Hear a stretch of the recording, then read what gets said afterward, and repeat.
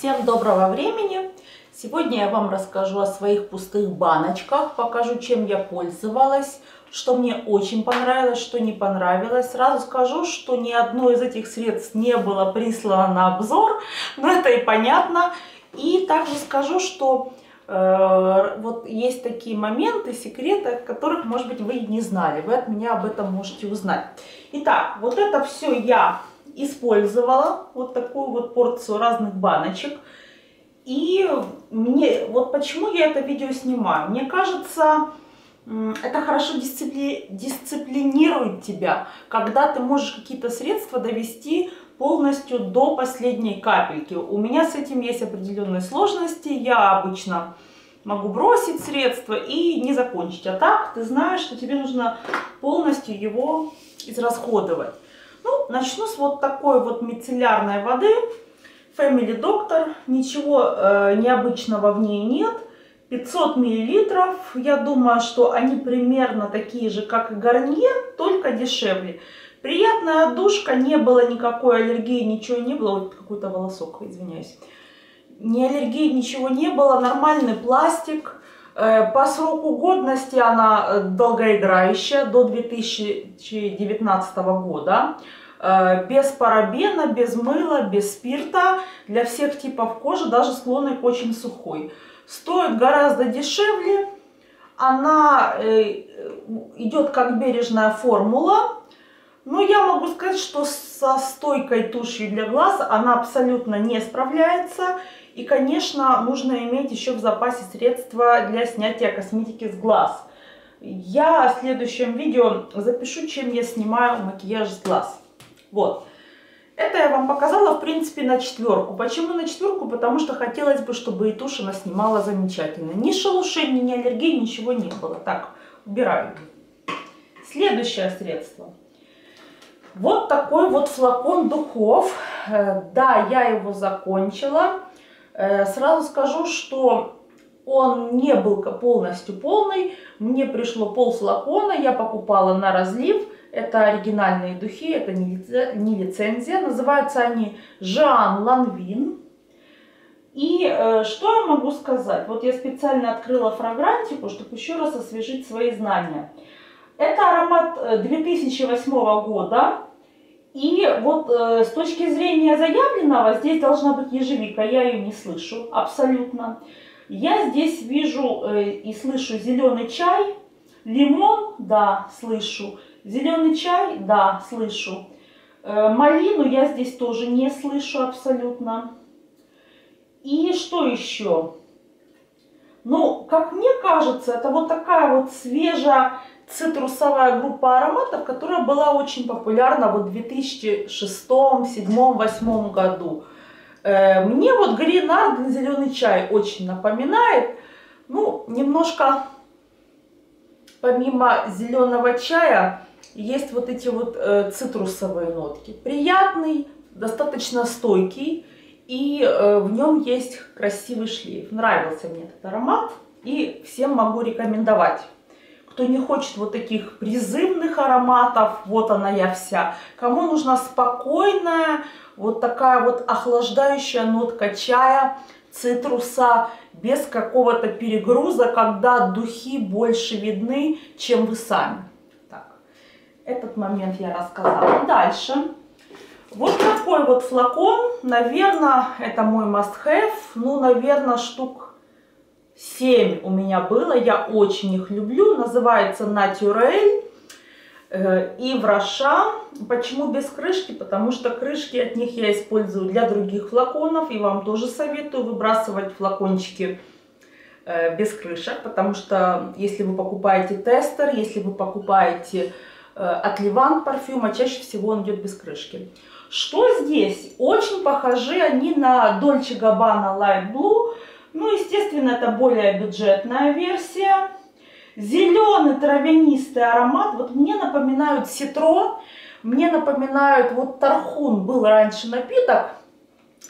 Вот нотки ситро зеленого. Нотки отдаленно-отдаленно мне виноградом пахнет, цитрусом пахнет. А что же с точки зрения фрагрантики? Лимон, э, зеленое яблоко, лайм. Ну, в принципе, я согласна. И некоторые еще э, слышат бархатцы, цветы. Я здесь бархатцев не слышу, может быть, мне их не положили во флакон, я не знаю. Вот, э, шлейф должен быть белый кедр. Я не слышу кедра здесь. Что еще? Сейчас посмотрим. Амбра. Нет, нет, этим близко не пахнет. То есть она пахнет все время одинаково. Раскрытия у натюрель я не чувствую. Цитрусовые зоны, цитрусовые вот эти вот тона, да. Бархатцев нет. Зеленый чай тоже. В принципе, эти ароматы похожи, но вот этот более дорого пахнет, на мой взгляд. Вот. Но зато этот более доступен и, в принципе, подходит практически всем женщинам. Он универсальный. Дальше. Очень мне нравилось вот такое жидкое мыло с огурцом. Почему? Потому что очень приятный аромат. Вот э, нотка огурца, особенно вот в зимнее время, очень так освежает. Мыло дав, ничего в нем особенного не было с точки зрения свойств. У него был очень приятный аромат. И достаточно оно густое было, достаточно приятно. Так, это я показала. Дальше. Очень мне понравился вот такой фармакос, средство вокруг глаз. Это Белоруссия выпускает. Мне этот крем э, подарила Мариночка, моя подписчица с моего второго канала. Здесь 20 миллилитров. Э, и вот для моей сухой кожи, она у меня постоянно пересушенная, у меня есть мимические морщинки небольшие вокруг глаз, очень хорошо увлажнял, очень хорошо сработал, не было ни отечности, ни сыпи, ни аллергии. Так что фармакос для контура глаз я вполне могу советовать. Он заявлен как аптечный, он содержит аминокислоты, экстракты петрушки. Замечательный крем, я его советую. И цена у него бюджетная, если я не ошибаюсь. Кроме этого, вот такой шампунь «Домашний доктор». Э, он заявлен как против выпадения волос, но, естественно, ничего он выпадение волос не останавливает. Очень приятный аромат эфирных масел. Масло розмарина, масло касторовое. Вот очень приятно пахнет. Стоит очень дешево, буквально 2 или 3 доллара. И тут целый литр. Ну, честно сказать, э, не очень хорошо справились производители. Почему? В запах они вложились, в упаковку вложились. Симпатичная, я считаю, упаковка. Но перхоть вот от него сильно перхоть, поэтому я им кисточки мыла, что-то там могла протереть, ну, руки помыть вместо жидкого мыла и не более. Поэтому его я не советую. А вот у меня еще маска к нему есть, я еще и пользуюсь. Вот она очень замечательная, тоже против выпадения волос. Ну, в отдельном видео расскажу. Вот такой дезодорант Невея. Ну, что я могу сказать? Ну, э, вот на зимнее время года он неплохой. Ну, на летнее я не могу сказать, что он прям справляется на все сто. Ну, вот так. Ну, можно поставить троечку, не больше. Кроме этого, вот такая настойка календула. Это моя любовь со времен моей прыщавой молодости, юности. Э, замечательную маску меня научили делать, такую самоделку. Э, бралась настойка календулы и э, тальк, обычная детская присыпка. И вот, вот эту массу очень хорошо наносить на прыщики и очень хорошо вот подождать минут, наверное, 5-7, пока она застынет. И реально очень хорошо очищалось лицо. Как я сейчас использую настойку календулу? Ну, во-первых, я, мне нравится как эликсир, я могу ею полоскать зубы, ну, буквально чуть-чуть. Ничего они от нее не желтеют, буквально там пол чайной ложки на пол, на полстакана. И в целом она воспаление с десен хорошо снимает. И протираю иногда отдельные прыщики. Мне нравится, мне подходит она. Так, это я показала. Кря-кря шампунь. Наверное, все, кто помнит его, примерно почувствуют сейчас тоже, что и я. Это ностальгия, тот самый желтенький цвет, тот самый запах вот такой вот приятный, кря-кря, вот запах жвачки, жвачки, зефира, очень приятный, но что мне в нем не понравилось, товарищи, он очень жидкий, его очень много уходит, Э, он не промывает хорошо взрослые волосы, с детскими волосами он справляется лучше. Когда мне говорят, мне так нравится мыть голову шампунем для деток, у меня такие волосы. Нет, люди, он со взрослыми волосами справляется хуже, однозначно. И за счет того, что он жидкий, он не экономный, и этих 270 грамм мы особо и не почувствовали, если честно. Вот. Ну, 4 поставлю только за ностальгию и за приятный запах. Ну и цена тоже на него достаточно скромная. Следующий продукт. Это вот такой биокон нежная кожа.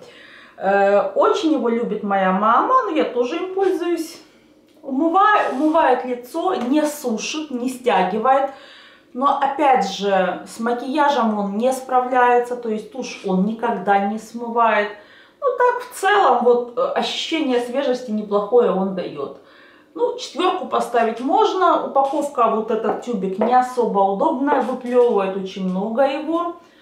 И, в принципе, Биокон, ну, это не самая лучшая, на мой взгляд, сейчас марка. Хотя очень вот мне хвалили кремы под глаза именно Биокон. Они на вытяжке пиявок заявлены. Последний такой вот на сегодня продукт это буржуа Health Mix. Я им экономно пользовалась. Он у меня получается еще в старом дизайне.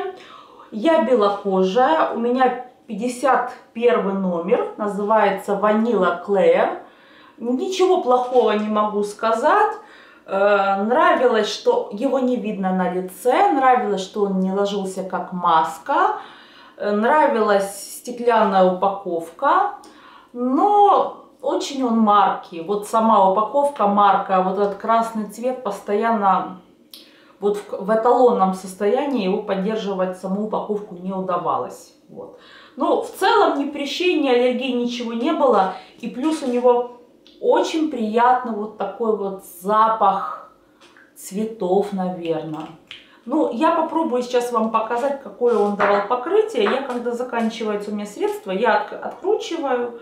И вот, собственно говоря, вот так тоже могу показать. Вот такой у него оттенок. И если его размазать, вот такой. То есть, в принципе, его не видно. Вот.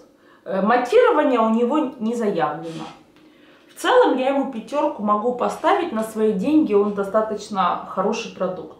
Но есть лучше него гораздо по такой же цене. Наверное, о них я расскажу в следующем видео. В общем, у меня уже абсолютно пустая корзина, вы видите. Рассказала о всех продуктах. Э, подписывайтесь на канал, пишите, что из этих средств вы пробовали, о чем вы хотите, чтобы я сняла видео из сферы красоты. И в целом напишите, нравится вам такой формат пустых баночек или нет, или не нужно на это тратить время свое и заниматься чем-то более полезным. Ну, на этом все. Всем пока. Подписывайтесь.